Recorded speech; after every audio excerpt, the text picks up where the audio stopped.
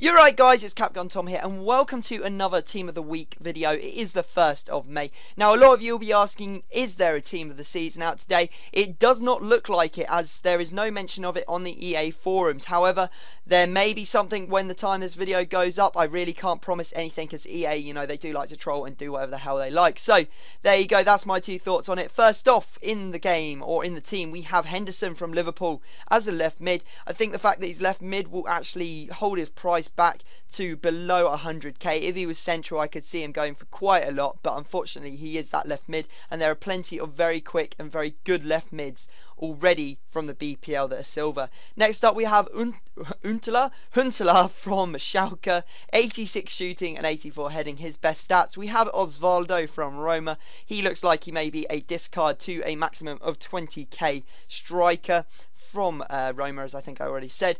We then have Adams playing as a right mid for Stoke. Not sure if he's going to go for very much. His pace is definitely going to hold him back with that 63 pace. However, he does have 86 passing, maybe one you want to think about. In the central position, we have Tim Cahill from Red Bulls, 66 pace and 80 shooting as well as 82 passing. Look at his heading though, 91. That is something else. Moving on, we have Inform Coutinho from Liverpool, 83 pace, 93 dribbling. That is something unreal. I can't believe that that's so high.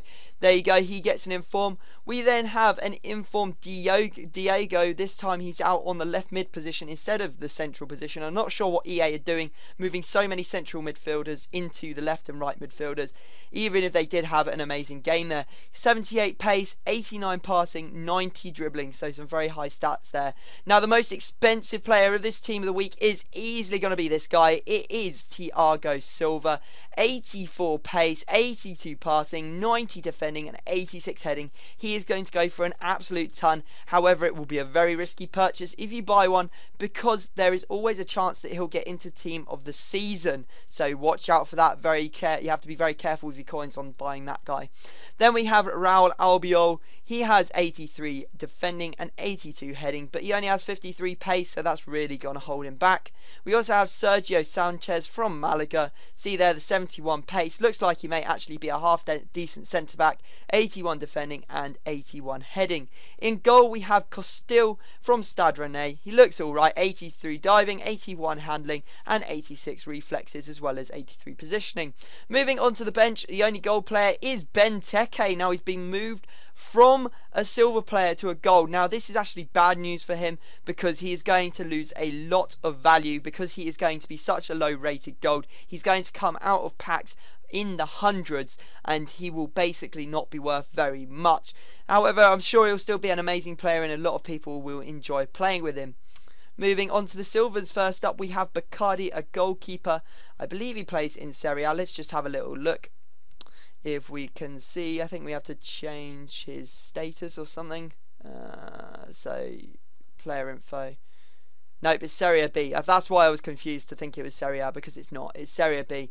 There you go. There he's got an inform. We also have Gosens from Feyenoord. Looks like he may be an alright player, but he only has uh, 68 pace. The 81 shooting though, that looks pretty promising. We have a Korean in Ko Johan looks all right. Uh, right mid, 74 pace, 70 dribbling.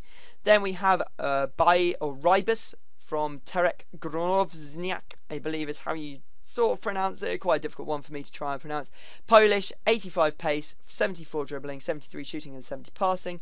We also have Vaughan, a striker from Huddersfield, and he has 73 pace, 75 shooting, 70 dribbling, and 72 heading. And then the final player on this team of the week is McAusland, a Scottish player that's bronze centre back, 60 pace, looks alright, 68 defending, and 68 heading. So, guys, that is team of the week. If I see a team of the season video or team of the season leaked, I will go and obviously show you guys as quickly as possible.